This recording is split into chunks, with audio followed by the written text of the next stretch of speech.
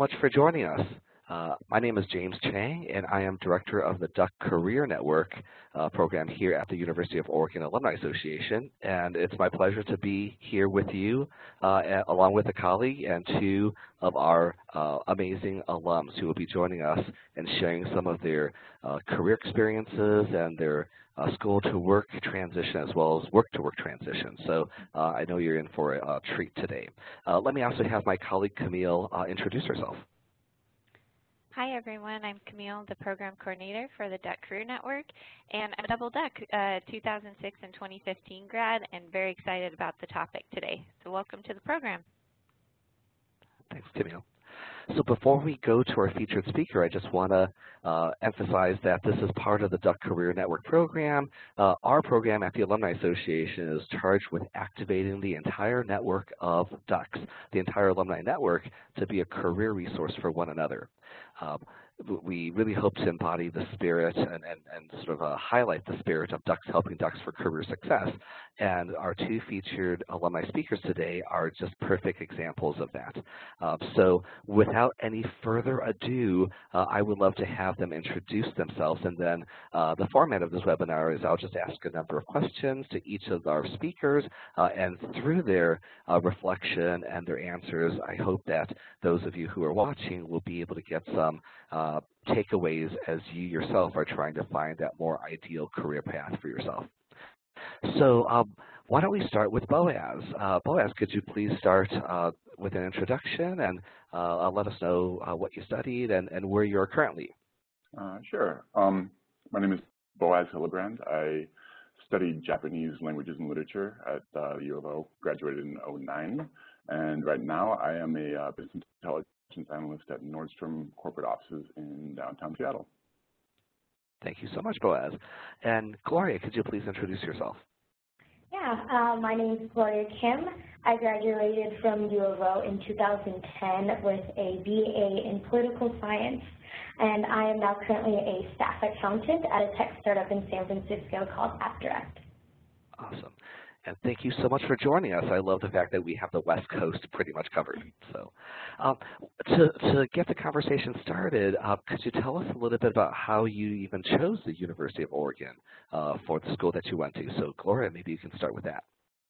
Yeah, um, for me, I think it was more of how I could choose not to go to U of O. Uh, I grew up in the area. I went to high school in Eugene, and so I was constantly always surrounded in a community of, you know, duck pride and spirit, um, which was unusual because I actually came from a family that supported the Beavers.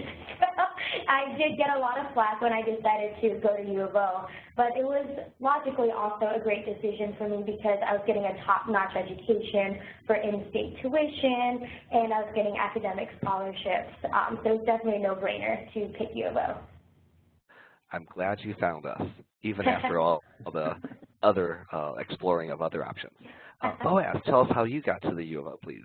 Sure. Uh, I guess fairly similar to Gloria, I'm I'm a native Oregonian, so it was uh, not a tough decision to make um, to stay in state and get that nice in-state tuition, uh, uh, you know, discount there. And uh, uh, I think that honestly, like it, it was a choice between the U of O and maybe OSU, and I just I like the culture in, in Eugene and at the U of O, so that was kind of the deciding factor for me.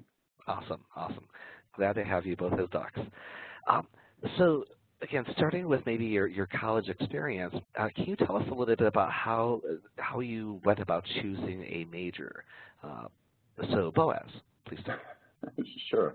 Um, well, uh, I was I had actually been uh, before uh, before attending the U of O. I had gone to culinary school, and I had been uh, a chef and baker for for quite a while.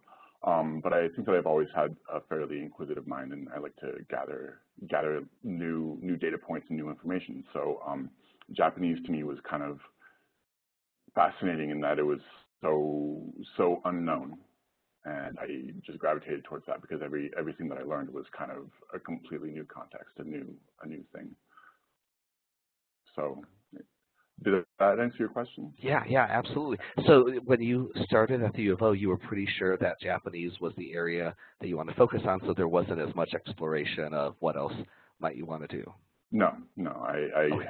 yeah, pretty much decided. Awesome, great. Uh, and Gloria, how did you choose your major?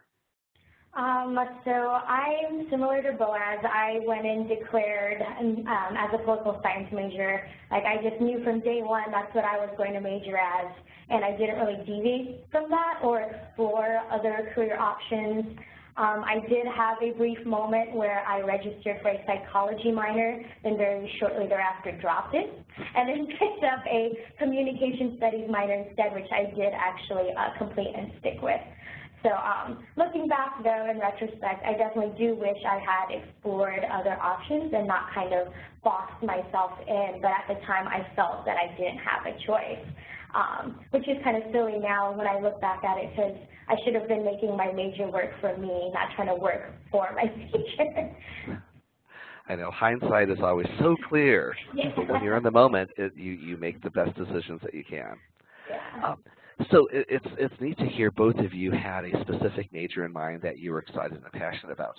If you could uh, think back to when you were still in school, um, how did you view that first job after graduation. So, you know, with that Japanese major, with that poli-sci major, at the time, what did you envision yourself doing in that first job um, after graduating?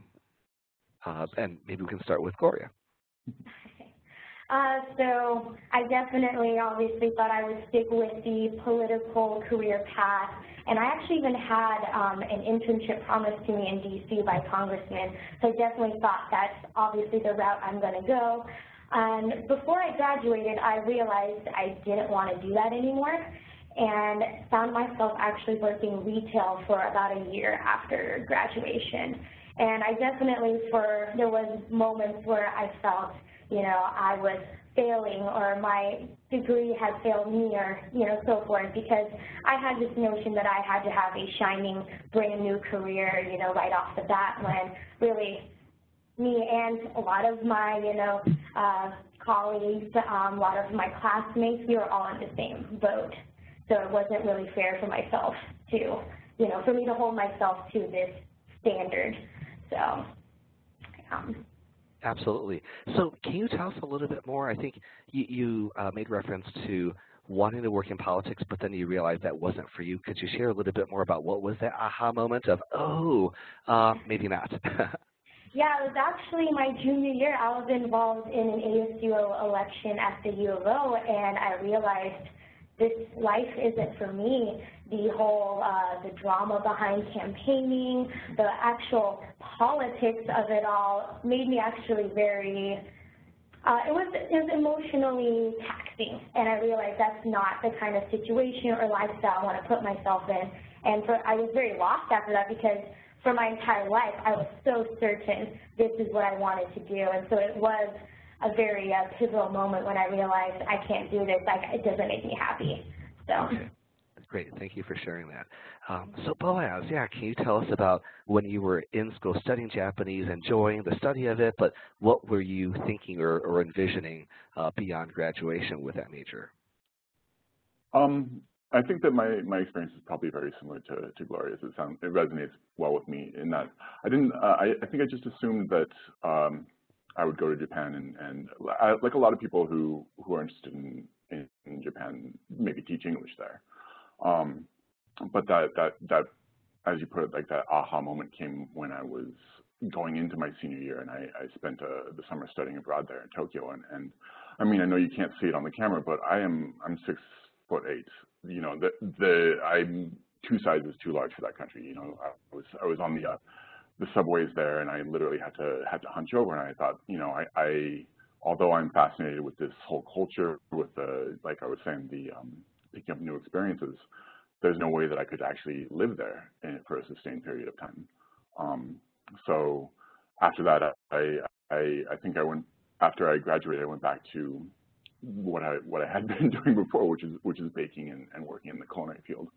Um, so yeah, uh, that's that was my out of graduation. Awesome. Awesome. Again, it's sort of when you're in the moment, you know, then you have to figure yeah. things out. Awesome. Yeah. Thank you.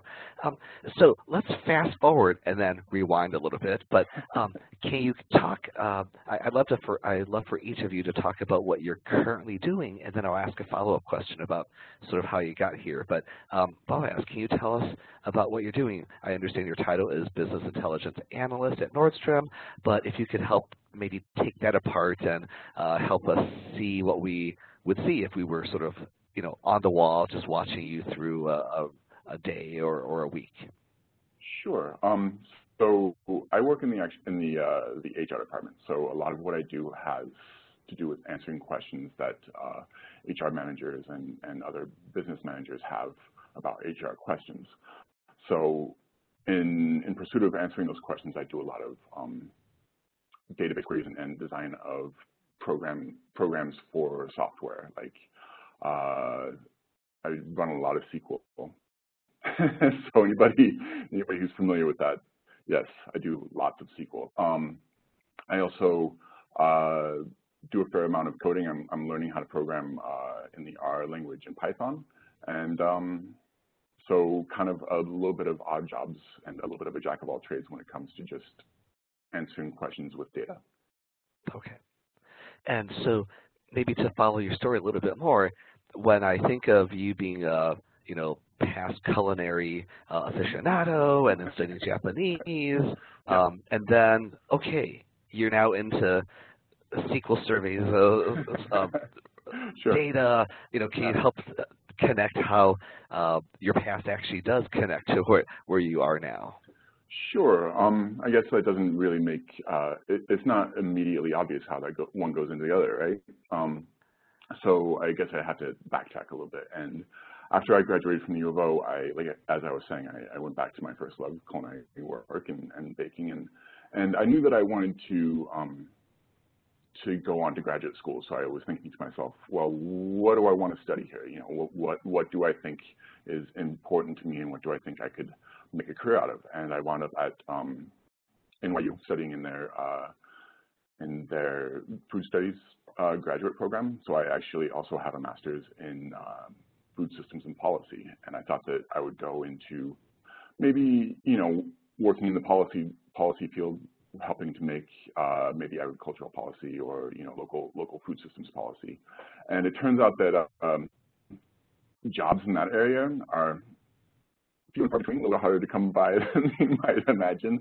So casting around and kind of, I, I, I went back and did some some deep thinking about what it is that I that I'm good at and what I feel passionate about. And and I think I hinted at it earlier that I really like picking up information and um, looking looking at something from one point of view and then and then turning it sideways and looking at it from another point of view and then you know turning it back over to another side and looking at it from that point of view and and being able to explain explain what something really is from various points of view. And so that that led me into uh, studying um, data. I started taking some some online courses about data science and that sort of thing, and it really just it kind of just struck me. I, you know, I, more or less fell in love with that, and then I uh, I applied to Nordstrom for a um, a job here in their HR on a data team, and fortunately, I got the job, and I just kind of have been going with it. Fantastic, great, thank you. Mm -hmm. um, and Gloria, can we uh, hear a little bit more about your story? So uh, you mentioned you're a staff accountant with AppDirect. Tell us a little bit more about what you do, um, you know, on, on typical days and weeks. Um, you know, I'll first preface this with saying uh, I definitely had misconceived notions about accounting for a long time, so definitely never thought this was a career option or path for me. Um, but then I came to realize it's not just all about math. There's a lot of working with, you know, a lot of Excel work, working with a lot of data. You get actual, you know, implementation projects, which, you know, can really uh, break up monotony of a, you know, standard office uh, desk job. Um, and then also I get to work with, you know, every team in my company, which is something I always loved about politics is, you know, uh, interacting with all different teams, people, so forth. And, you know, accounting is a role where everyone in the company needs to talk to you so at some point or another. So that's been uh, that's been uh, nice to kind of be able to wear different hats still um, and not be you know relegated to a specific uh, type of role um, per se. So. Excellent, excellent. So maybe just in terms of proportion, could you share with us in an average, let's say, week, what percentage of your time is with people? What percentage of your time is looking at Excel spreadsheets or data, uh, and what percentage of your time would be other things that we don't typically associate with the life of someone who's in accounting or financial services? Because I agree, there's a lot of people who have certain preconceived notions of what accountants do, and um, this I, I, love how uh, you know you're, you're you're showing how there's different aspects of it that you know was a pleasant surprise for you. Yeah, definitely. Um, I would say at least 50% of my time is Excel work and working with our ERP system um, and also like our, uh, you know, credit card companies, the banks, so forth. So I'm working with a lot of external uh, people and uh, teams as well, which is always great um, to get exposure to that. Um, and then internally, probably 25% of the time, get a lot of emails, a lot of Slack messages, Hangout messages. there's, you know, 10 different ways for people to come find me and talk to me. So um, there's always that. Um, and then the other 25% of the time is uh, probably just random things that, will come up, things that even I some initially will not know how to handle. So there's a lot of, uh, you know, um, opportunities or times where I have to think quickly on my feet, um, things that aren't standard, but it's always great to have to do something new. So um, like recently, um, our company just implemented uh, a new expense reporting system. So um, that was a great deal of pro uh, project management work, which is something I don't typically do, but great experience, you know, a lot of new skills, definitely uh, honed and acquired there. So. Wonderful. Thank you. Thank you. So you know, I, am thinking from the perspective of people who are watching the webinar. You know, some of them are just about to graduate or just graduated and they're still trying to find their path. Um, you know, others may have, have you know, a handful of years of experience or maybe even more, but they're trying to do a career shift. Um, in general, I would love to just have each of you share uh, maybe one or two pieces of, pieces of advice uh, for success based on what you've experienced, um, and maybe connected to that, even if you can include a reflection on when you think back to your, especially undergraduate years, um, you know, what do you think you really got out of it, right? Some people think, oh, you know, your undergraduate degree is all about getting that job, uh, but as we've learned, no.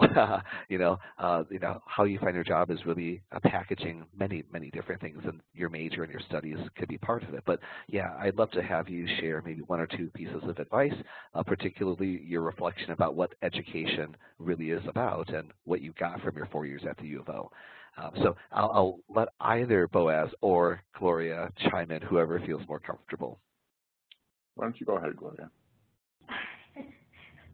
Um, so I'd say some of the most important things that I learned from my undergrad years at U of O was uh, definitely some a lot of soft skills. I think people are so focused on learning um, hard skills, like you know perhaps uh, things like um, specific to their major that they don't realize there's a lot of other skills that can really supplement that.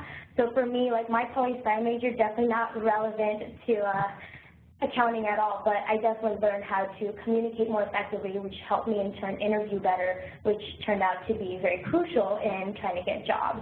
Um, because they don't always necessarily care what your grades were or how well you did in school, things like that, but they really care about how you're going to get along with the team, you know, are you a hard worker, are you presenting yourself well as someone that they want to work long term with.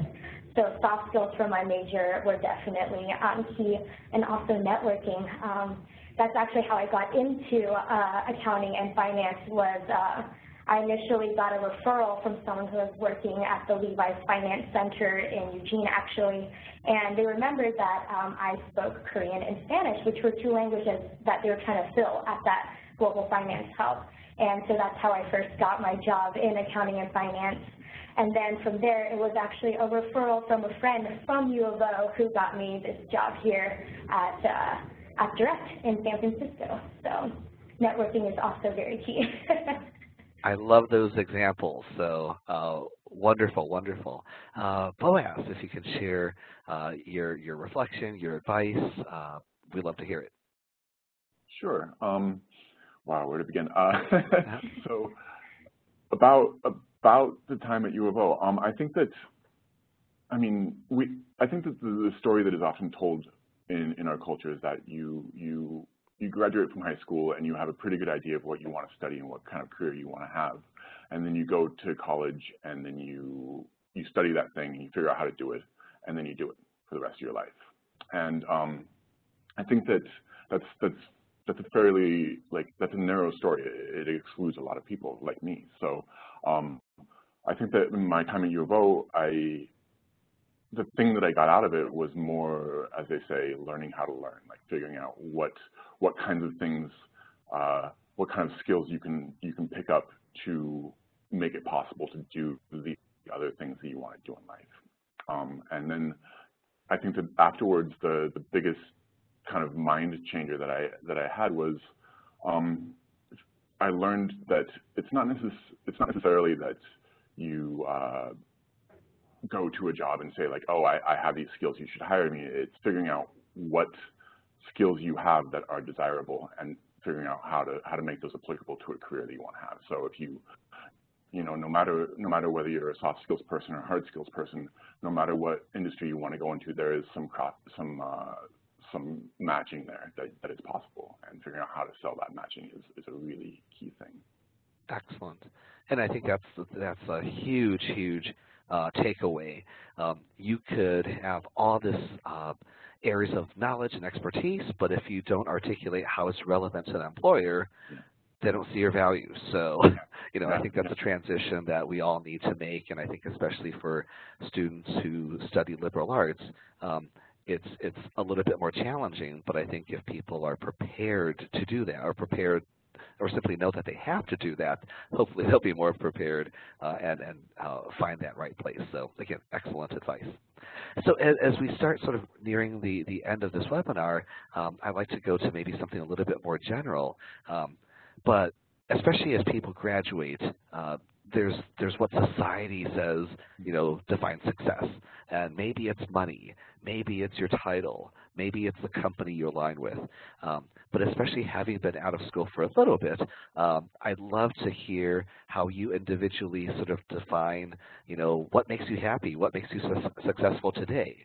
Um, and then if, if, if you can share it in perspective to what you thought uh, would be success as you finish graduation, as you you know graduated from the U of O, uh, compared to what you think of it right now uh, with the benefit of hindsight. Um, so maybe, uh, since because I see you smiling, Boaz, maybe uh, we you could kick kick off this uh, response. Sure. I mean, obviously, so so when I was, I'm, I mean, I'm here because I'm in a different job than I thought I would be in when I graduated. So so that that path to to realizing success was was not a straight one for me. Um, so I thought that I would be, you know, I would get a job somehow related to to Japanese, and that would lead me down a path where I was working for a company where you know something having to do with Japanese language was a part of their business.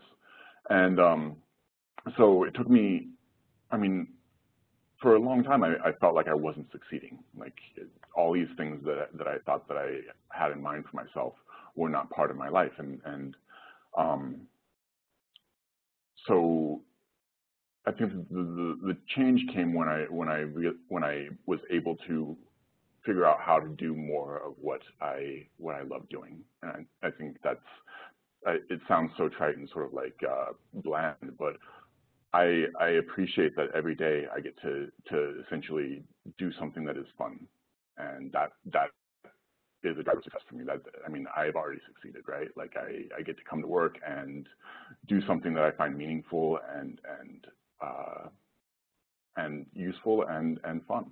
So my my idea of success is just that I get to continue doing what I do right now. Excellent. Thank you. Uh, and Gloria. Um, I'll definitely uh, go back to how I worked in retail for a year after graduation and how I did not feel like a success. Um, I actually felt like a failure for a long time, especially um, for me, uh, coming from my uh, cultural background, my family also was not supportive. You know, I did not understand why I did not get um, a career right off the bat after the graduation. And so that was really hard to deal with for a long time. But over time, while I was working retail, I came to really appreciate it. Um, I do think I learned a lot of stuff there um, and had experiences that helped definitely set me up for success later on. Um, I definitely uh, learned a lot of humility, first of all, and stopped tying my worth and success to something relevant to my major because for a long time, I only looked for other jobs that were related to my major and realized that wasn't going to be a path that led me to something more successful or something that made me more happy. Um, and nowadays, I try to keep my definition of success inclusive of only me, myself, and I, and I try not to include other people, other variables. Um, I ask myself, you know, like, did I grow this past year? Did I learn something new? Am I learning new skills? Am I still competitive? If I can answer yes to those questions, personally for me, I consider that success. Um, I apply these benchmarks, you know, for myself uh, in and out of the workplace, though. So, you know, I'm not someone who's solely focused on my career. I can be happy outside of the workplace as well. And so um, that's what I would consider success. Wonderful. And I just want to put it out there, the reason I was so excited to have both of you tell your story is because I see both of you as being great successes and great models uh, for other ducks to learn from. So again, um, just wanted to slip that in.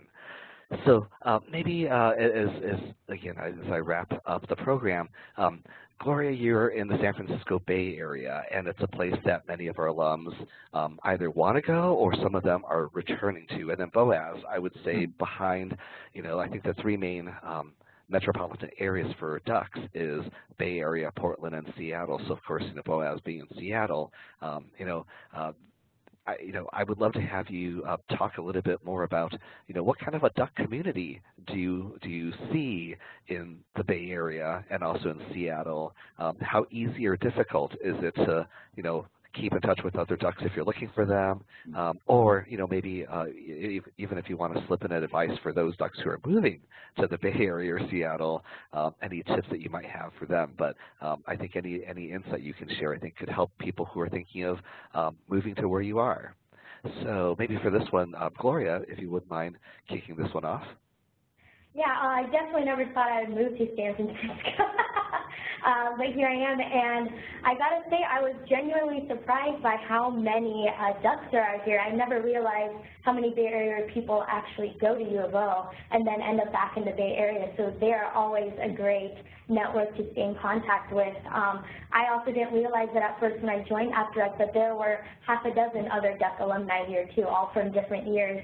So it was really nice to uh, discover that, uh, you know, I wasn't alone and there are ducks in just surprising places. Um, recently, we uh, signed on with a travel agency, and their VP of sales also duck alumni. We're just kind of everywhere, and so it's really cool to see that. And um, you never know who you're going to run into in San Francisco. So uh, outside of the network, I think uh, SF is just a great place to meet people. You know, sometimes even your Uber or Lyft driver is someone, you know, who is trying to get a startup off the ground or something like that. So uh, definitely a great uh, place to be if you're trying to meet someone in the tech community. Thank you, Gloria. And Boaz, advice and insight about Seattle. Uh, well, don't be scared of the Huskies is number one thing. Uh, but uh, other than that, I, I think that my main advice is that it's it's a lot like Eugene, but bigger. Um, that a lot of people here are very similar to the kinds of people you might meet around the U of O. Um, and if you're if you're looking to get in touch with people from the U of O, I mean, if you if you don't if you feel like you don't have a network that is uh, already set up in Seattle, I would suggest that you I mean, the social media is a great thing. Look on LinkedIn, look on look on Facebook. You can always find people who who went to the U of O who are in a big city on the West Coast like Seattle. And it's if if my experience is any guide, um, people in, in Eugene and from Eugene and who have gone to the U of O are very uh, very friendly no matter where they are. Excellent. So I think on, on that note, I'd love to wrap this up. Gosh, uh, Boaz and, and Gloria, uh, you have confirmed my feeling that you were the exact people I wanted to tell your, I wanted your stories to be told and for, for uh, others to learn from your experience. So once again, on behalf of the Alumni Association, on behalf of the U of O, uh, thank you for representing Duck so well in San Francisco and also in, in Seattle. Um, I hope our paths cross, you know, in person. Um, um, you know, because I am fortunate enough to be able to travel to, to those cities uh, for work and also for fun. Uh, and definitely the next time you're on campus, please look me and Camille up. We would love to buy a cup of coffee, treat you to lunch or dinner, uh, because again, you, you are modeling the uh, Ducks Helping Ducks spirit that we